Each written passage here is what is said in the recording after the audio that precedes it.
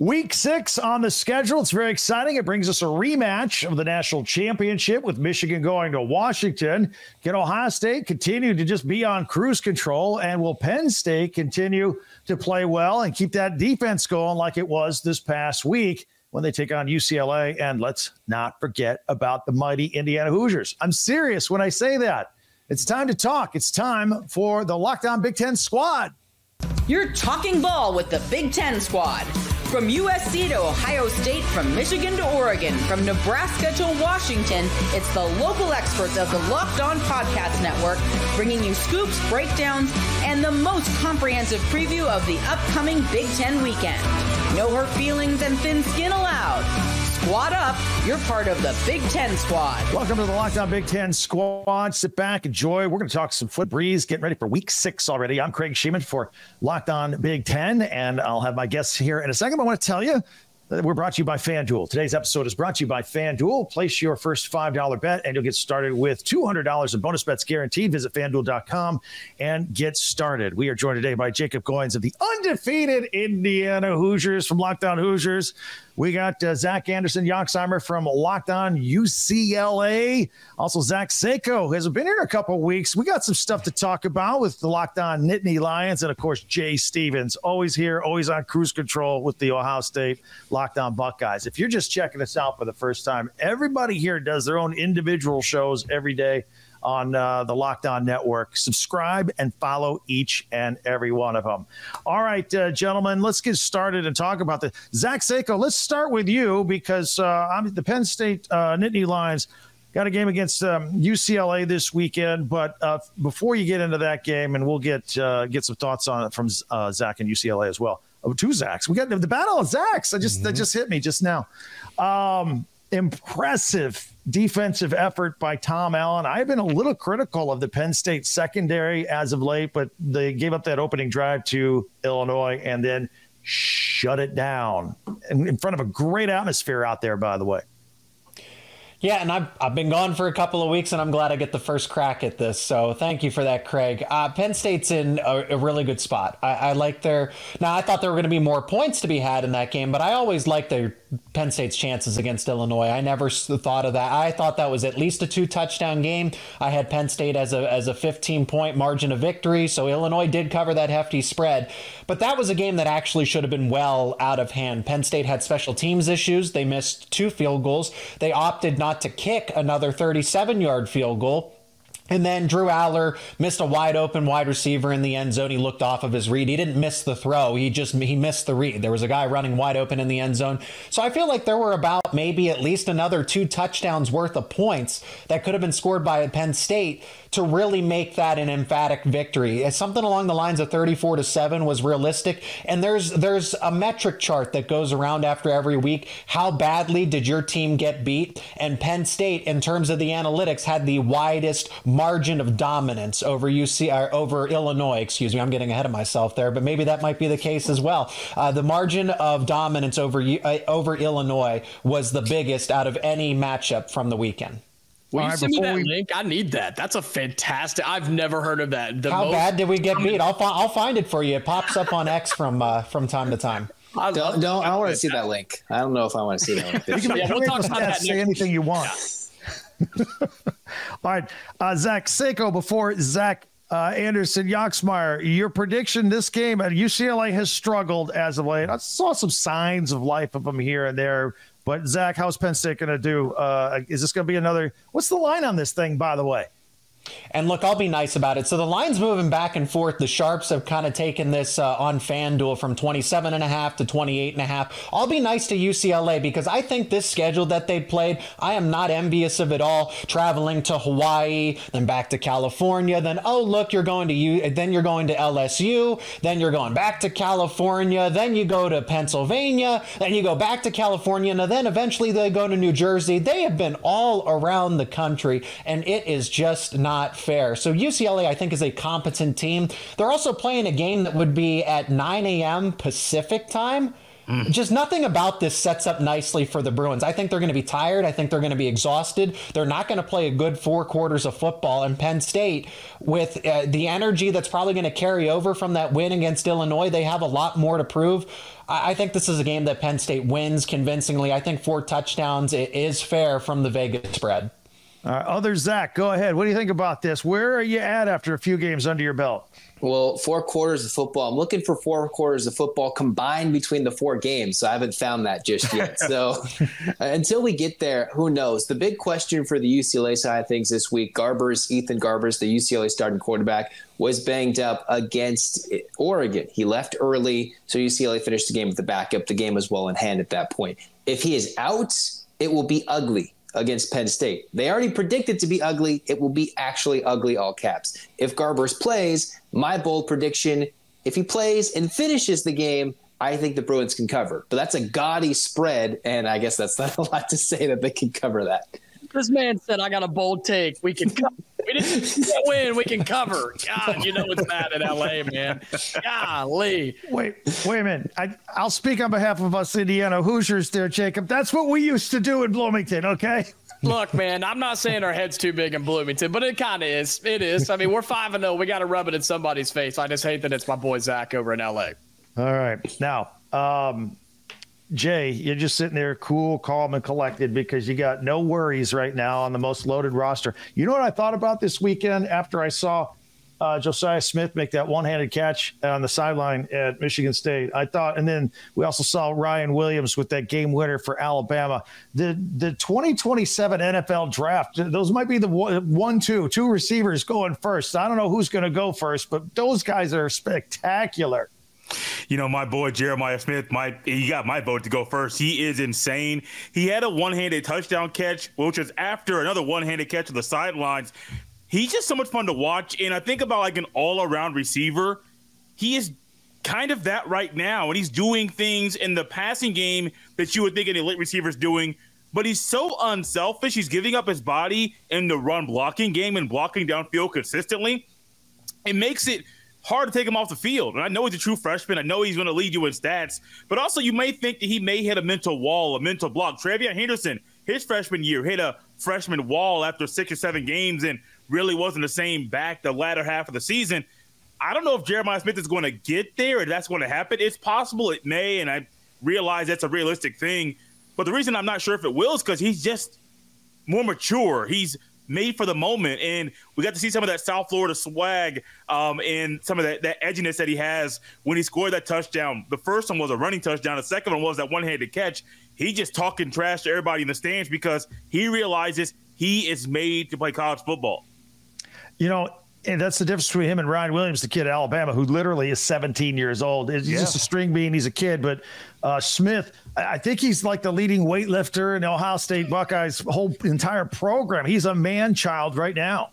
You know what's crazy is Ohio State does this thing in the offseason, winter workouts and summer workouts. At the end of that workout portion, you get named an Iron Buckeye if your your workout session is – superior over others. It may be eight or nine guys that may get that. Sometimes it's less. As a true freshman during his first offseason, he was named an, an Iron Buckeye. And I'm thinking, all the things we heard, all the recruiting shows I did with Brian Smith, and Brian Smith knows him personally, so it's a little bit different. Not just re- recovering a guy that's on the other side of the country, you're covering a guy you personally know. Everything people have said, he's doing and exceeding all of the expectations He's so much fun to watch. And as we get deeper, especially this week against Iowa and then the rest of the season, I just can't wait to see what he does against Big Ten opponents. That 12th game of the year against Michigan, I expect him to do big things, but him versus Will Johnson, that's a matchup I'm waiting for. What are what are your thoughts about the Iowa game? I say this in all seriousness because I yeah. think this is going to be the best defense you've faced so far this year. I, I still expect Ohio State to win handily, but I mean they might put a few wrinkles in there defensively. Do you think?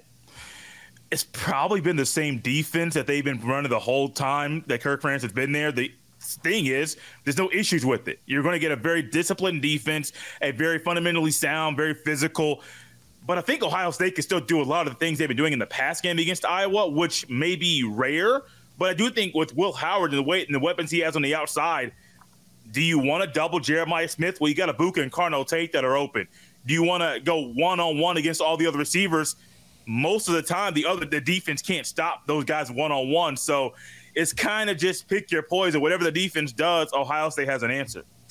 Now, Jacob, the Hoosiers are five and zero oh for the first time since 1967. In my it, brain, I'm again, going. Craig, hmm. Say it again. Say it again. Say it again. We got to hear. Five and well, here's the deal: five and zero, oh, but Northwestern's coming up next. Oh, six and zero. Six and zero. Oh. Six and zero, baby. Six and zero. Not even stressed. Not even worried. No, I actually said on my show earlier this week, this is such a classic game for any football team to say, "Ah, oh, we're five and zero. Big one over Maryland on the road. Northwestern's terrible. They're playing in a stadium that holds two thousand people. We got this."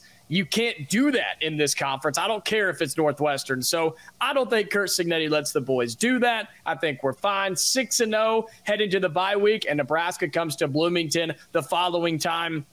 I guess after the bye week, great things are happening in Bloomington. Discipline, lack of turnovers. They turned it over for the first time this season this past Saturday. So I think we're doing okay, but cannot overlook Northwestern on Saturday. Not only they turn it over, they turn it over four times and still won in a blowout. I mean, Indiana football is usually not that team that does that. Yeah, watch out, Jay. We're coming to Columbus late in the season. Watch out. y'all can come. Y'all gonna leave with an L. Trust me. Y'all don't want this smoke. y'all don't want it at all. Yeah, talk to me in November. I'll talk to you then too. We're just warming up with the trash talking. Uh, we'll get everybody's opinion on the rematch of the national championship with Washington and Michigan, among some other games. I think Spencer's floating around somewhere, flying around with the Ducks. We'll get to all that as we continue right here. The Big Ten squad continues. Let me tell you about FanDuel. Uh, we all like watching sports, get you excited. It's fun. It's even more fun with FanDuel. You're an NFL fan, you can start the season with a big return on FanDuel, America's number one sports book. So when you get a hunch in the middle of the game, you can check out the latest stats, view live play by play, and so much more on the same page where you place your bets. How, how convenient is that? It's fantastic. You'll get started with $200 in bonus bets guaranteed when you place your first $5 bet. That's at fanduel.com, America's number one sports book.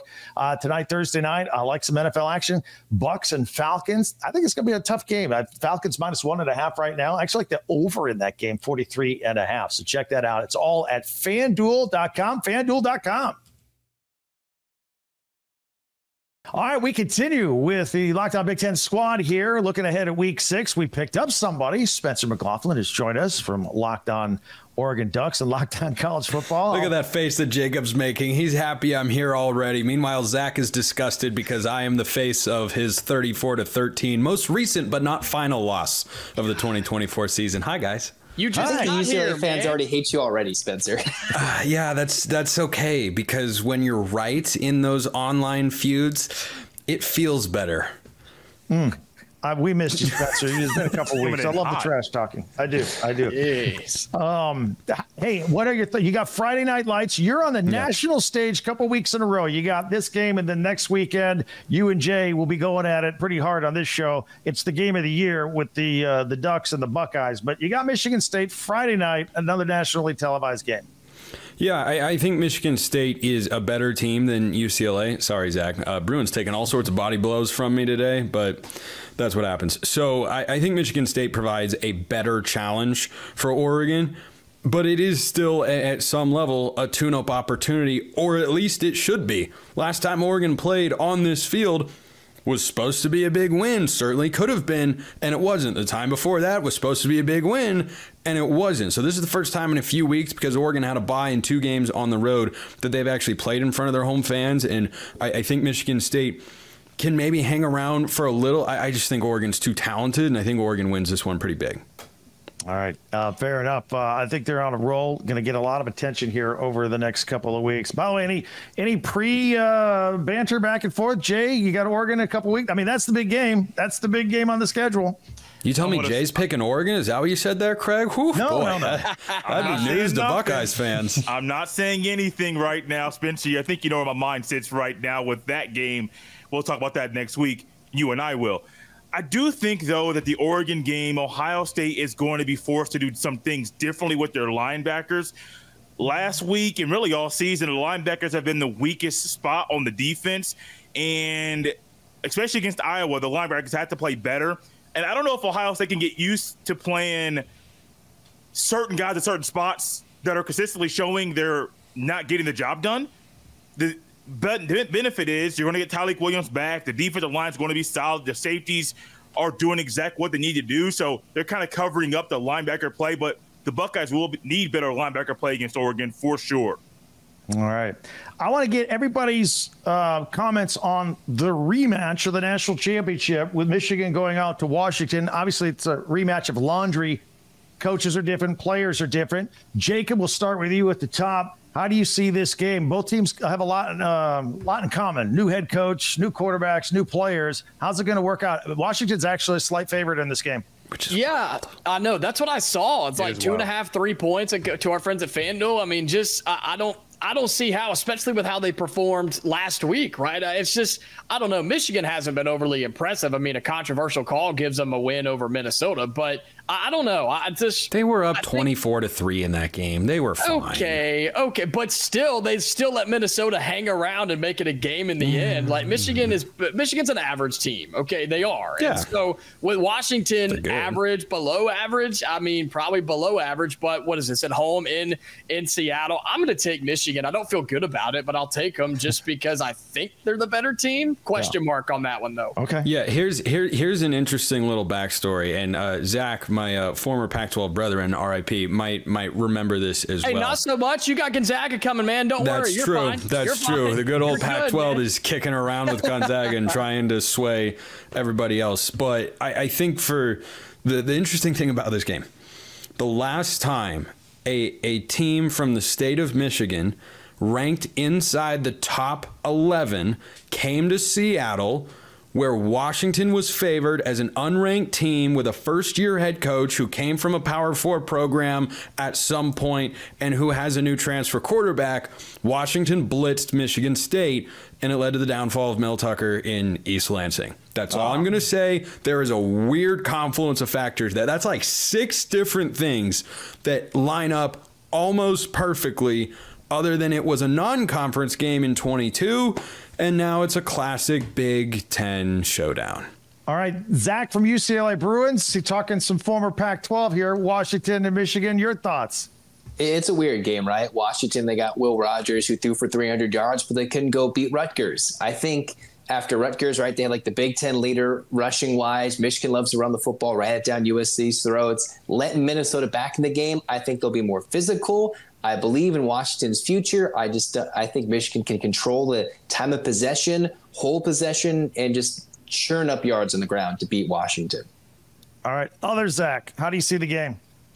I, I wonder if this game has, uh, if it even reaches double digits. I, that's an over exaggeration or an under exaggeration, but this total, I, the fact that it's at 41 with Michigan, if, if they had an offense, if Michigan had a semblance of an offense, because that defense is top five in the country still with Will Johnson and Mason Graham. And then Washington's defense is actually proving to be really good, better than at least what I expected from them. So this game probably might be thir- it might be 13 to 10 for all I know. And, and I like that Michigan, or I like the spot for Washington bringing Michigan over to their home field. I, I think that I th- these plane trips are proving to be pretty costly for the opposing team, whichever team is making that cross coast travel. So UCLA's figured that out, how bad it can be. Uh, USC went to Michigan, and look how that ended up. I picked Michigan to win that game. I kind of like Washington to re- return the favor for their Pac-12 former brethren. I, I, I've, I've, I have a fun hypothetical to lay out here. What's going to be a higher point total? Penn State as a team through three quarters against UCLA yes. or Washington, Michigan combined points for four quarters? Penn State. Penn State. Penn State. 100%. Well, like hold a minute. Wait a minute. Zach, Do you hear that, top corner, Zach? They're dogging your Bruins. It's not just me. Basketball season's Ouch. almost here. But, but wait a minute. it yeah, is it very is. close. It is it is very close. That's the good news. Wait. The media team came out today. I want to boil it down a little bit here. Zach Zako, you predict maybe a 13-10 game, but on your little cheating little scale that you mentioned in the first segment, what's that real score going to be?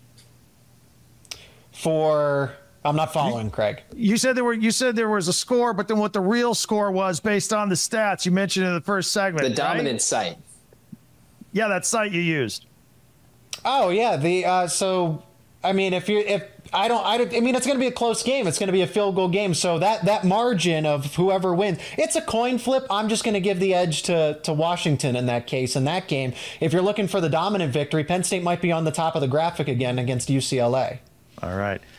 Jay, how do you see your uh, unbeloved Michigan Wolverines doing at Washington? At some point, you just think that running the ball consistently for Michigan won't work. And I think this is going to be one of those times. And that night game in Seattle will be tricky. I, I, can't go with Michigan in this one at all. I have to go Washington. Um, and before the season, I would have picked Michigan to win the game. I just don't think they can just keep the same formula going on Saturday and expect to win. They got to figure out something else with the offense. I, Orji's not the guy, not at you, all. You know what? Okay, Orji's more the guy than Davis Warren. I mean, come on, like that. Like, 30, 30 passing yards gets it done, right? Oh, oh that, I'm, I'm not disagreeing saying? that he's a poor passer. There's a reason Portnoy's out there saying, "I'll give you three million bucks to go buy a quarterback in the portal. Just get one," because he knows, like, yeah, these guys stink and they can't throw the football.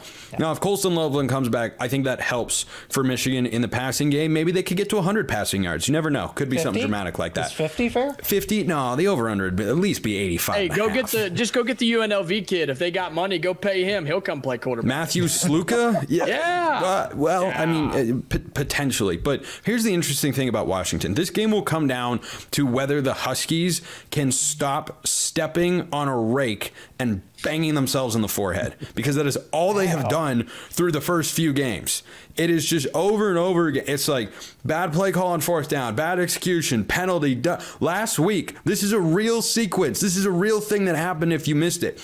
Rutgers on third down fails to convert. They line up to kick a field goal. Washington blocks the field goal.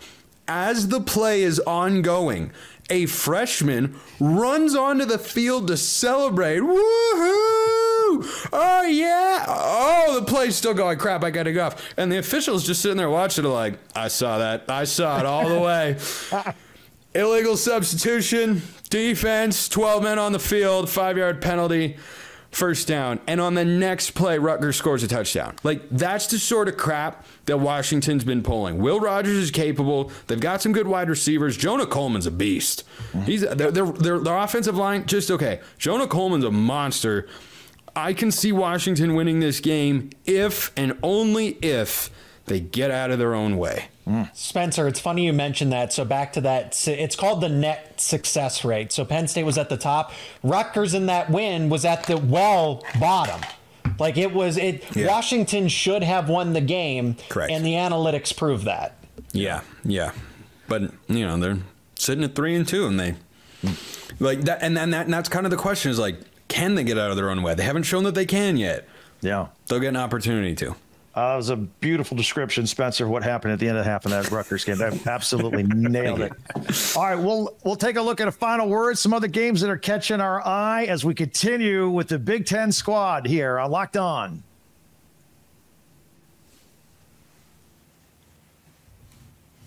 As we continue here with Locked On Big Ten Squad, uh, getting ready for week six around the Big Ten in college football. Very excited about it uh, as we continue with uh, Jacob and both Zachs. Uh, a couple other games around the conference I want to talk about and get your thoughts on. We spent a lot of time with Michigan and Washington and whatnot, some other big games. Uh, the USC Trojans, uh, you guys have seen them. you know, they were down by 11 points at home against a Wisconsin team that's still trying to figure things out. They go on the road – to Minnesota. Ironically, both Minnesota and USC lost at Michigan by three in the past couple weeks. I don't know if this is an even matchup or not. What do you guys think? Jacob, we'll start with you. Yeah, USC, as we look at it, they're an eight point favorite on the road at Minnesota. It's a night game. It's going to be on the Big Ten network. Not sure how many people are going to go out of their way to watch this game, but I will. I'll at least check it out to see what's going on. I think USC bounces back. I think they play well. I think they're just too much for Minnesota, who played a good game against Michigan, but they played their style of game against a team that plays their style of football. It was slow, it was gross, it was ugly football USC's not going to do that, man. They're going to high fly and do whatever they can to light up the scoreboard. Give me USC. I think they cover. I think they win by double digits on the road. All right, uh, Zach from Locked On UCLA. How do you see that USC Minnesota game going? Well, we haven't really talked about that Minnesota Michigan game too much, right? You gave a lot of love to that Ohio State receiver making the one handed catch. What about Daniel Jackson's one handed catch at the end of that game against Michigan? Probably, they say what, catch of the year? I don't want to give too much love to that onside kick miss because they almost beat Michigan. UCLA's next winnable game is Minnesota. I want to give thought that Minnesota could beat UCLA in the Rose Bowl. so, besides that point, USC eight point favorites. They didn't play well. Speaking of Washington, like shooting themselves in their own foot, USC did the same thing against Wisconsin. I don't believe Minnesota could play up to the challenge, but USC I think is also a little overrated as well. Sorry, Trojan fans, but you know it's coming from your counterpart across town. I know I don't haven't seen good football in a while, but you know I do think USC should win this game by double figures, two scores. Although Minnesota has shown they're scrappy, there are a couple weird plays from maybe being four and one. Who knows? I, I just don't think they're capable enough to hang around with a USC offense that I think should score, considering Michigan just hung 27 on them. They can't throw the football. Mm. Zach Zako, how do you see USC in Minnesota? So this is another instance of the not full cross country coast to coast trip, but USC's got to hop on a plane and and go to Minnesota. Now this would be a 4:30 kickoff uh, USC time. But Minnesota at, at, night, this is a physical team that is basically a Michigan light. I, I like Darius Taylor, the running back. I, I think Minnesota. Yeah. Can it, it for USC? The key to this is how much, how many points can you get ahead? Because we saw Wisconsin give USC a game, and then they ran out of gas what in the early in the third quarter because that trip is daunting. Jet lag is a very real thing. I don't care how physically fit Division 1 football players are. These trips are unprecedented with this new conference realignment. If they if USC can be ahead by maybe 2, 3 touchdowns, then they win this game just fine. I can see Minnesota going through the seven, eight offensive linemen because PJ Fleck will do that. He'll do something mm-hmm. like that. Brett Bielema did it to Penn State three years ago. What's to stop PJ Fleck from doing that against a USC team that just doesn't see that kind of ground and pound power football? Oh, and Minnesota has the running backs to do it. Yeah. So I'm not saying. I, here's what I am saying: never say never about a Minnesota upset. I actually like them to cover. I I see this being a seven point game. I see USC being ahead by enough to maintain the win, but Minnesota will make it interesting, and that is a case in point because they made it close against the top five Michigan defense on the road. I think that carries over. Zach, I'll stay with you for the final game I want to talk about, and it's more interesting. I shouldn't have saved it for last, but Rutgers at Nebraska. I have them in my own Locked On Big Ten Power Rankings neck and neck. So whoever wins this game is going to leapfrog the other one. But uh, Rutgers, Dylan Raiola, uh, Dylan Raiola for Nebraska. I love watching him play. Rutgers is a scrappy team. I think they're both kind of scrappy. Uh, Nebraska has way too many penalties these days. But how do you see that game coming out? Rutgers really struggles against the run. Uh, lo- losing their top overall defender, that's a big deal because Washington Washington should have won that game. Do not look at Rutgers' record and say, "Oh, this team is legitimate. They can go 9 and 0 and they might have a shot an outside, you know, an inside track into being a surprise in the Big 10 championship." That is not the case. This Rutgers team is okay at best. Going on the road to Nebraska, Nebraska's defense is arguably top 10 in the country. They still are, even though they lost that game to Illinois. I still think that's a top 10 defense. I think Dylan Raiola, his better days of football are ahead. He's a true freshman. He's going to make freshman mistakes. Nebraska should have won that game against Illinois. Give me the Cornhuskers by at least two touchdowns against Rutgers because Nebraska will get the lead and then they'll be able to maintain it with a solid ground game. Rutgers has no answer for that. If they play from behind, they are doomed. All right. Other Zach, how do you see that Rutgers Nebraska game?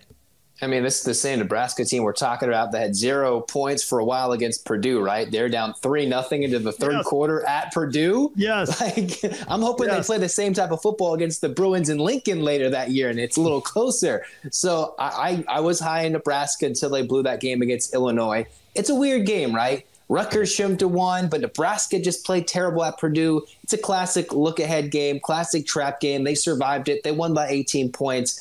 I will say Nebraska, I've been riding their train pretty hard, but I know, you know, Rutgers could put up a fight. I'm going to lean with Nebraska, though. All right, Jacob, this is a scouting match for you because after Indiana beats Northwestern to go 6 and 0, I, I think they got Nebraska next, right?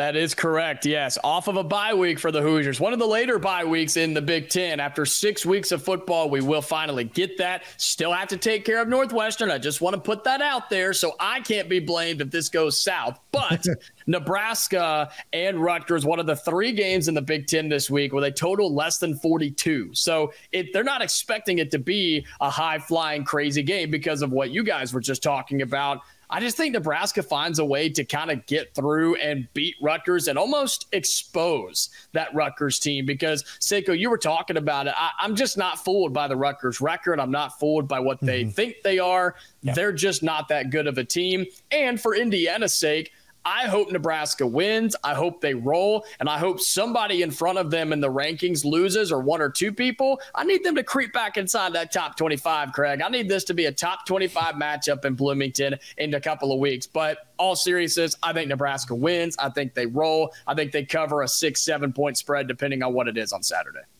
All right, gentlemen, you guys always do a great job. Always tell our new listeners subscribe and follow all these guys. They work hard for your favorite teams every single day as we cover your teams throughout the season. And don't forget, I got you covered for the entire conference every day with Locked On Big Ten, part of the Locked On Podcast Network. Your team every day. I'm Craig Shemon. We'll talk to you next time.